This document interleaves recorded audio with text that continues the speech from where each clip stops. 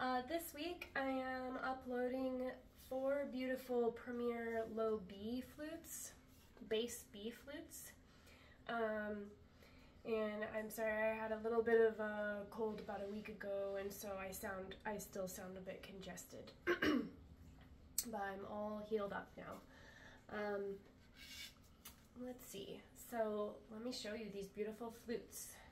We have this one in poplar. Poplar is a hardwood, technically, because it has leaves and not needles, but it's a very unique hardwood in that it's it's pretty soft and lightweight.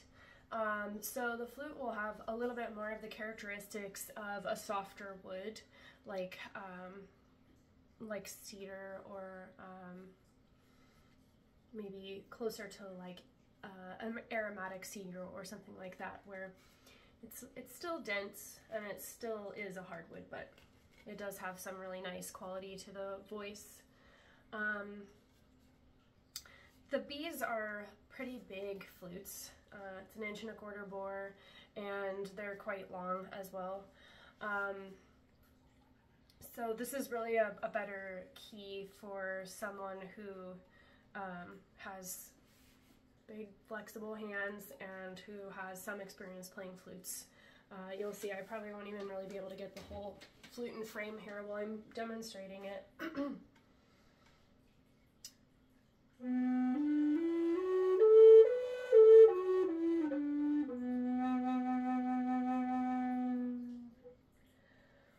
This one has a really lovely voice. It has a, a really strong and resonant bottom note, um, and you can feel the vibration in the flute while you're playing it. I have this beautiful cherry flute.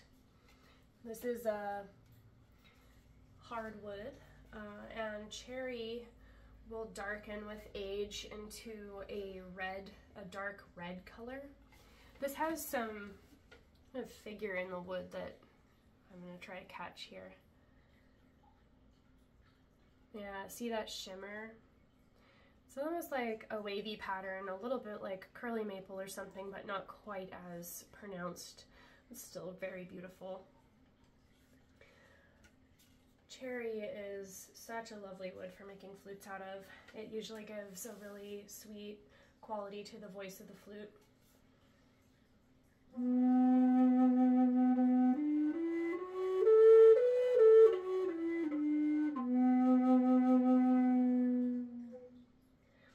Has such a strong low note there. I love how deep these low B flutes are. Um, Cherry is a wonderful wood also because it's a really durable hardwood. This one has fairly has fairly thin walls, so it's not terribly heavy. It's actually,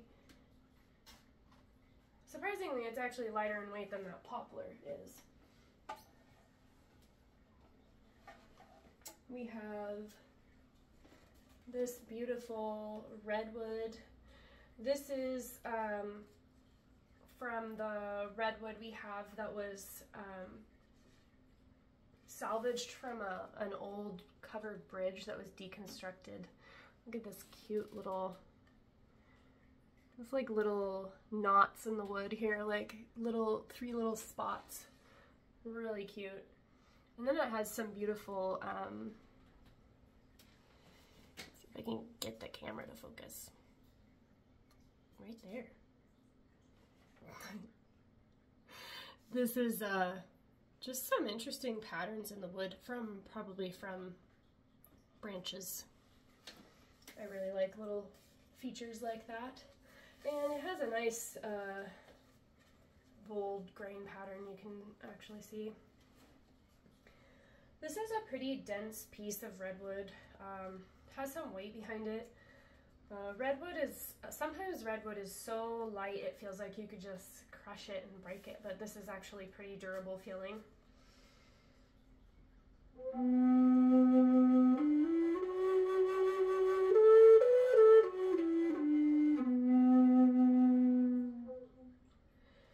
This one really has the characteristics of that a lot of softwoods have where it has kind of a smoky quality to the voice, um, more meditative and more kind of soothing.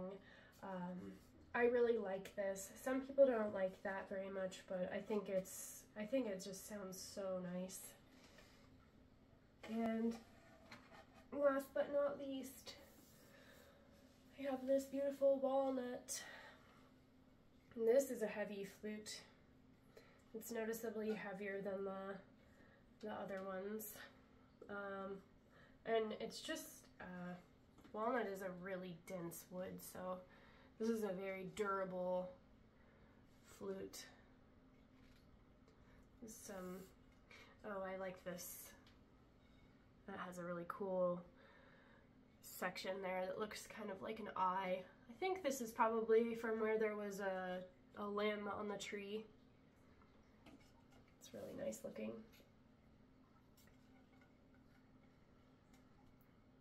Hmm.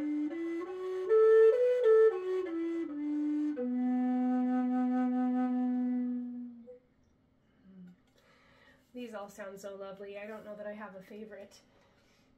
I might lean towards the, I think maybe the poplar is my favorite actually, but they're all so beautiful. Well, I hope you guys find this helpful. Thanks for watching.